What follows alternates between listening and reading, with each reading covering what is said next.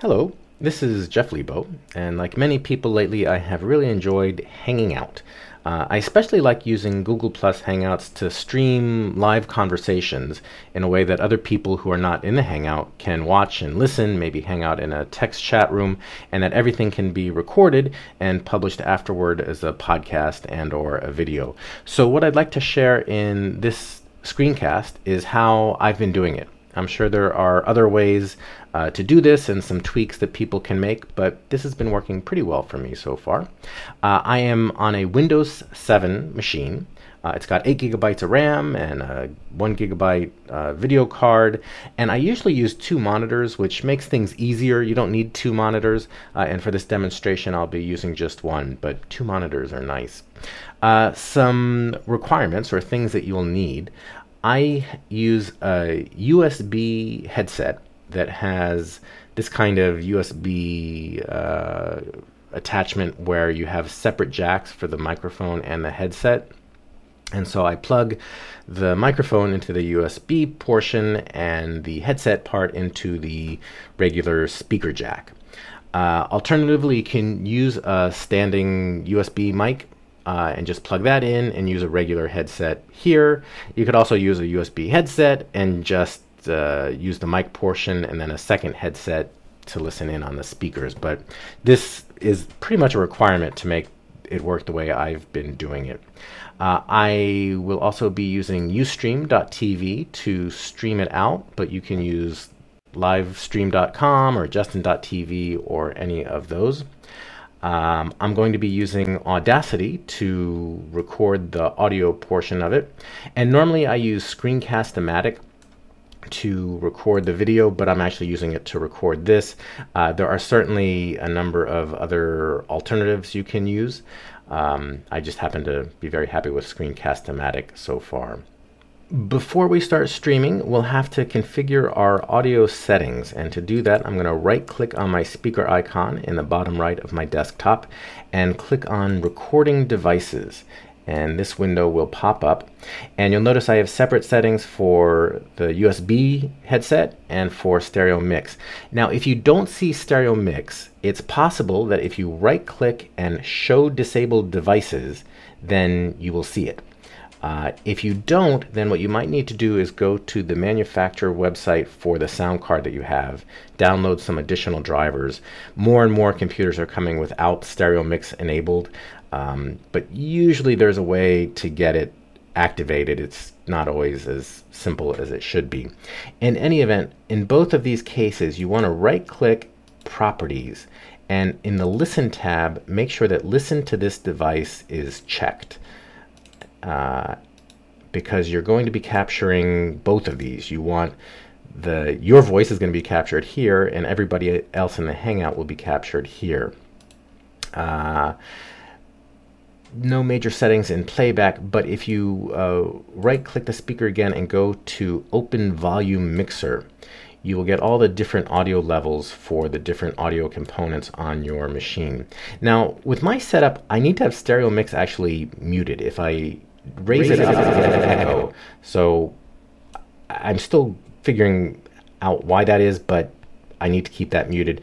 It's important to make sure that your headset is not muted because that's what picks up your voice and you can see how I'm getting much quieter as I lower this.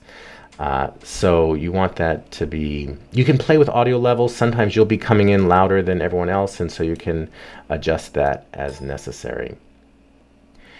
In your Hangout window, you can also adjust settings here.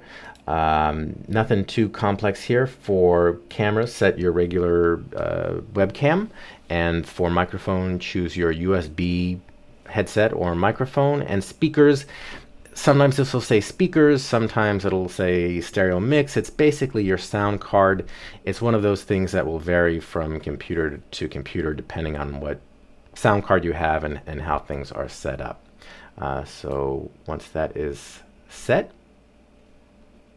you are almost ready to start hanging out.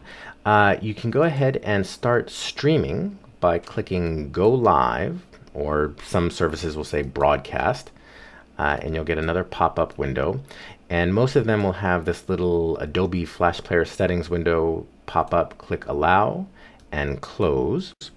Uh, you want to make sure that video and audio broadcast are both checked.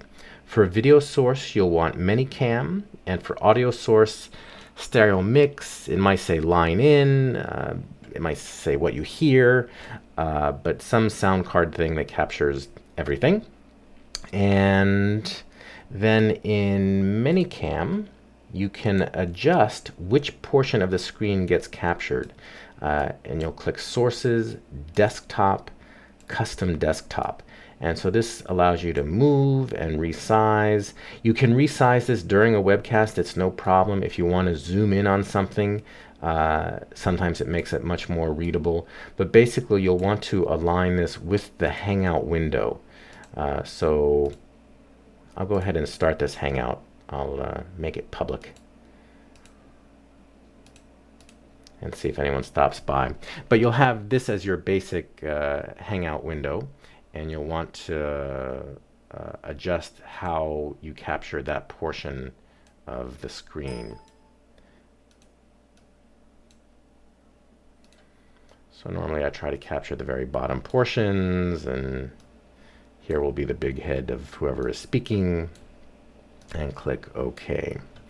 Uh, so we've got this part ready to go. You want to be cognizant of audio levels. If the Ustream is too is peaking too much, you can lower it here. You can also go back to your audio levels here and adjust things.